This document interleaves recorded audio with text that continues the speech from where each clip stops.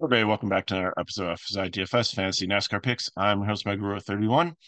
I've been playing with the audio, so uh, please let me know if it's better here. Um, different mic, new position, graphic equalizer. Hopefully it comes out better. But if not, um, like I said in the last couple of videos here, we keep on trying this, but you can always put it on 2x if my voice is too low. It'll be a little bit higher there. And you can always put on the captions too. So, uh, this is, I apologize for no Xfinity video yesterday. There was a tight window. I came to try to crunch the numbers to bang out even like a quick short. My computer um, just absolutely crashed, blue screen of death. Um, but I got everything back up and running, so we're good to go for this one. So, uh, three rules if you haven't watched these videos before for what's a super speedway race at Daytona. The first rule is play light because it's a high variant sport, and this makes it even more high variant a lot of goofy people win. A lot of goofy things happen in these races. So they're very unpredictable. It's almost like a scratch off lottery ticket. Second thing is you generally want to stack the back of the field, like anywhere from 20th on down, because place differential is what you want to chase here. There's no dominators on the board here because there are no dominators. It's two and a half miles. It's not that many um, laps to it and you really don't have dominator points. Lead changes really fast. Fast laps are spread out. Nobody really captures line share and if they do it's a rare rare thing. And um, then I mean, you don't want to try to chase that. So place differential is what you'll want to look for. The other thing too is don't be afraid to leave a lot of salary on the table. 10k is fine. Don't freak out that you need to get the stud drivers and stuff. They usually start closer to the front. They usually have a better chance of wrecking and losing place differential, getting a negative. As you saw, um, Austin Hill was pretty popular yesterday. He's had to start in the back with an issue, wrecked early, and wrecked a lot of people's lines and days. So don't go with that. So play light, stack the back, leave sail around the table. Those are your rules you'll see a lot of colors here. The other thing in these races, if you didn't see much in Xfinity, but you should see it more so in um, the Cup race, is manufacturers and, and teams work together. So the manufacturers are color coded there between Ford, Toyota, and Chevy. And then the teams are color coded. And I know you're looking at it, it's like, wow, there's a lot of yellow, but they're not on the same, same team. So with the Chevys, the one that's more of a cream color run with Hendrick engines. The um ones that are like a brighter yellow are ECR engines. So not necessarily that they're all going to work together and it gets a little bit muddy with the Ford with the Fords with like Penske usually works together, Stewart Haas works together, sometimes they cross work together, and then you have like the front row and RFK cars and the Rick Ware cars usually stay towards the back but who knows? Without the BJ McLeod cars and the Rick Ware cars in there, there's less garbage cars in here to be back markers that stay off the pace. Some drivers love to get up there and be aggressive, like Ricky Stenhouse. Like he's starting 35th, but he can work his way to the front. People will let him because some people don't care. They're going to stay in the back, try to avoid wrecks, um, and then go for it at the end, unless they need stage points. We still, it is getting close to the playoffs. I didn't really throw that up here just because, again, it's a volatile race. And I don't think it's really going to make a difference on who you play and and who you don't, in my opinion. Some other people might have other opinions on that. But the next couple of weeks, when we do the videos where we really focus in on who's like trying to get to the playoffs there, because I don't think it's going to really, um, if somebody's going to be conservative, they're going to be conservative. If somebody's going to be aggressive, they're going to be aggressive. I think it's just more of their nature here than actually strategy for the playoffs. And it doesn't really matter again for like, you know, sometimes playoff drivers have to stay out there to get stage points.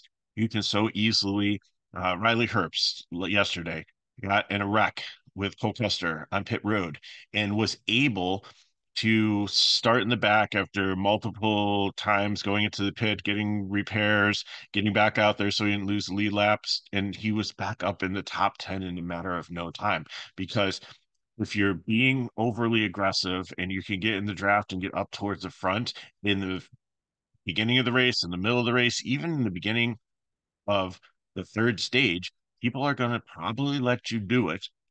And you can find an equally um, aggressive partner to probably help go with you. And people aren't going to really care or try to jockey for position much until the end of the race. Sometimes they're just going to let the people that want to be aggressive go out there and fight it out and do whatever they want to, but they're just going to hang back and wait for, you know, 10 to go, seven to go, whenever things start to line up and make their run at that point. So Michael McDowell gets a pull. He's won here at uh, super speedways before. Uh, usually pretty good, even though Ford has kind of turned their back on him. I think you can have a good day. Maybe somebody to consider on FanDuel, but do not play on DK. Same thing with Todd Gilliland. Has had some success on super speedways here. But these are very dangerous plays to play up here. So they're gonna be fades. Joey Logano, I'm gonna put my 100k line because Penske team likes to work together, get together, and if the Fords are good here, now there's no practice, so nobody knows, and they don't have practice because they don't want to tear up a bunch of cars on a super speedway, and it's pretty simple. Like you don't really need like handling and stuff. You just keep it open. Um, yeah, so you get tight and loose, they can make different adjustments and stuff through the pits, but it's not like you need the adjustments that you need on a road course or some other tracks. So, uh, Joey Logano, I like him. He usually uh, likes to be up front there with his Hendricks team or his Hendricks, his Penske teammates. So I'm going to put them all in my 100K lineup. I'm going to stack them. I'll probably play more Fords with them also. People are not going to play him. They're going to have low ownership. Maybe Blaney, because Blaney has had some success here, but nobody's going to play anybody up in the top 10. So that way, that's where I'm going to shoot the moon here and hope that the Fords stay clean. Uh, Cindric's won here before, and, Blaney has, done well on super speedways. That they all work together, that they are able to stay clean.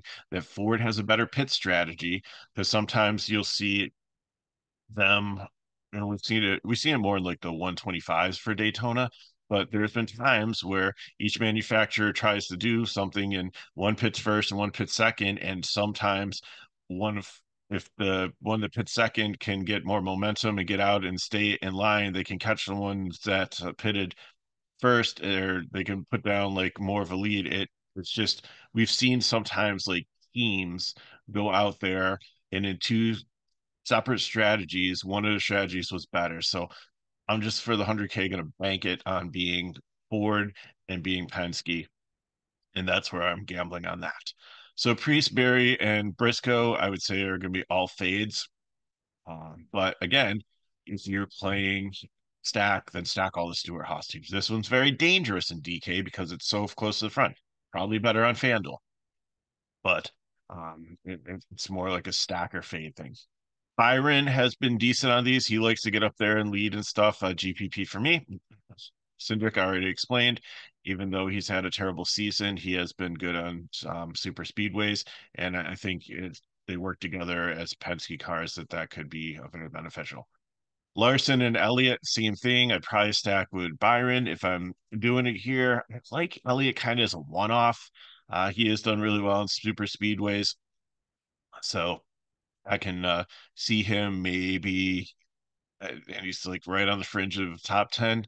If I if I was playing a little less aggressive GPP, I'd like start with Elliott and then I just go down and um, start taking some of those like cash plays to to fill in, and he'd be like my shot to win. So, and that's another strategy you can do. Just figure out who your winner is going to be up here, and then take people that are down for the place differential, and um, and that could pay off also especially really um, good on FanDuel where you get the the finishing position is is a little bit more key sometimes than place differential.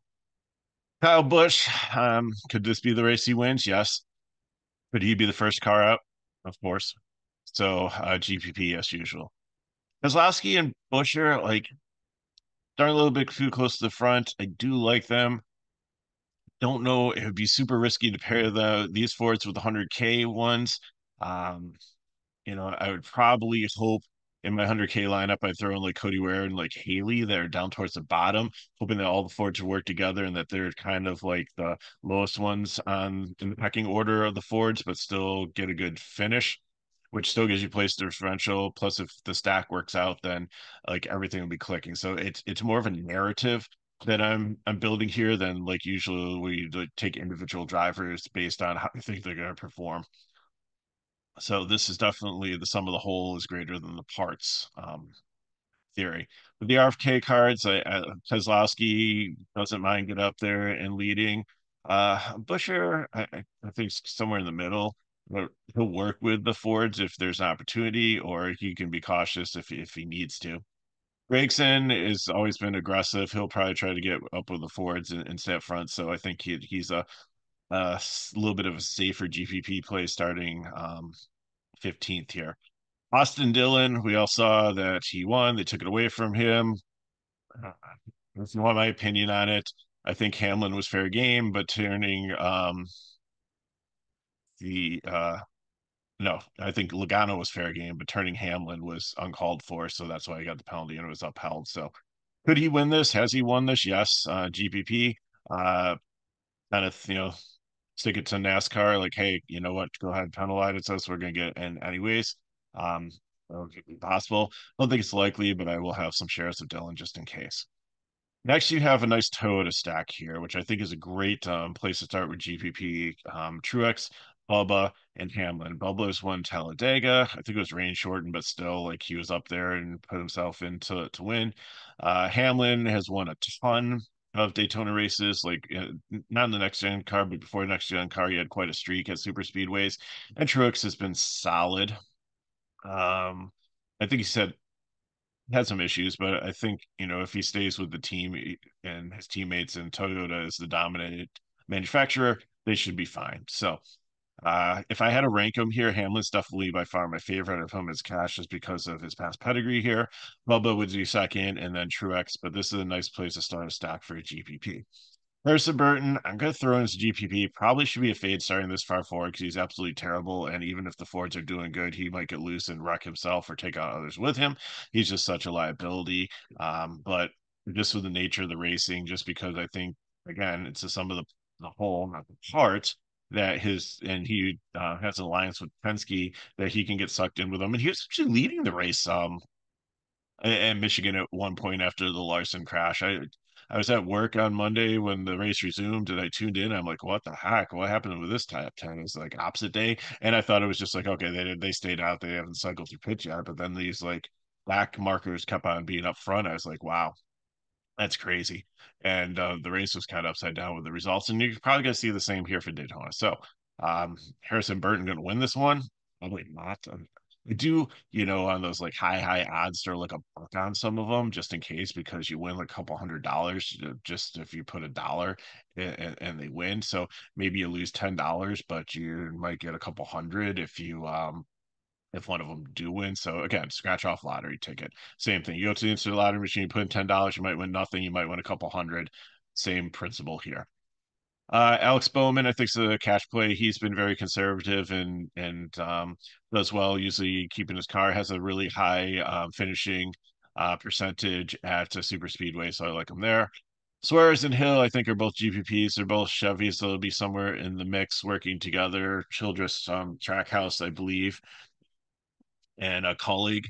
So uh, I think, I mean, Hill has, has been masterful in Xfinity um, other than getting caught up in somebody else's nonsense early in the race. Uh, guys not knowing how to drive on a super speedway, and Hill was just in the back and got collected.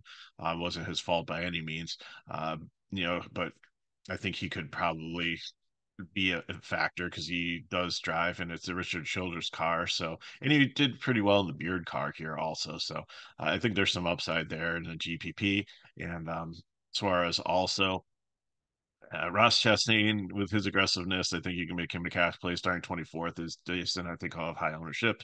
Tyler Reddick, I'm going to make my first prime play here. Like I said, I, I, usually like the Toyotas here, and I'm going with a Toyota stack in the back, which is going to be Reddick, Bell, and uh, Erik Jones. And if you want to mix other Toyotas in or other manufacturers, that's perfectly fine. And you know, I'm probably starting my times too high. Some would say, but like this is where I found success. It's like I know these cars, I know these drivers. Reddick is um it's good at uh, super speedways. So is uh Bell. You have Gibbs there in the middle. I bet Gibbs. I did actually a parlay that um Sheldon Creed and Gibbs would win, but I bet each one outright too. So I, this could be a sneaky place where Gibbs picks up his first win because you have a even though Denny Hamlin lost a lot of points, he got a penalty from Toyota Racing. It wasn't his fault. Um, that's going to knock him down, but he does have enough to qualify in the playoffs. He's just not going to like. Yes, definitely another win would help him, but I think with the stable, like you know, Reddick has a win, and I believe Bell has a win, and uh, I don't think Bubba has a win, but I could see like one of these um cars in the Toyota, the the top six Toyotas. So I'm talking about the Gibbs and the 2311. I'm not talking about the legacy cars that they try to push one of them to win just to kind of kind of lock them into the playoffs. So I I don't know how where Gibbs is in the playoff picture, but I think that just um trying to play a narrative here that the Toyotas are going to have a strong um, run today, so they're going to be more of my cash. I went with the Ford as my secondary one. That's why I'm doing as the 100k GPP. And I think that Gibbs might uh, get out there and get. Um, so if you're asking me who I think is going to win this race, uh, God only knows, but I'm putting some money on Gibbs, just trying to read the tea leaves that they're going to try to manufacture win for Toyota and Joe Gibbs Racing to help um, solidify more playoff points for that team or playoff position or entries for that team. So uh, I really like this range here with um, Reddick, Gibbs, and Bell, but I'm going with the priority of Reddick and Bell. I don't know if I'll play Gibbs and cash. Uh, so Hemric has uh, always been good on super speedways and Xfinity, and um, and has been decent in uh, in his Kaulig program. Parker Retzlaff, uh, he is masterful at super speedways. He got in a wreck last night, but again, it wasn't his fault. Um, but early in the season and the Daytona and then the first the first Talladega race, I think he had like top tens or even top fives. Uh, his run really, or maybe it's last year. I can't remember if this is rookie year or not. It's been such a long season, but anyways, has had success. So I'm putting him as GPP because I want to see in this. He had one cup start and it was terrible. That but that was that was a D that was a terrible car, the 66 horrible equipment.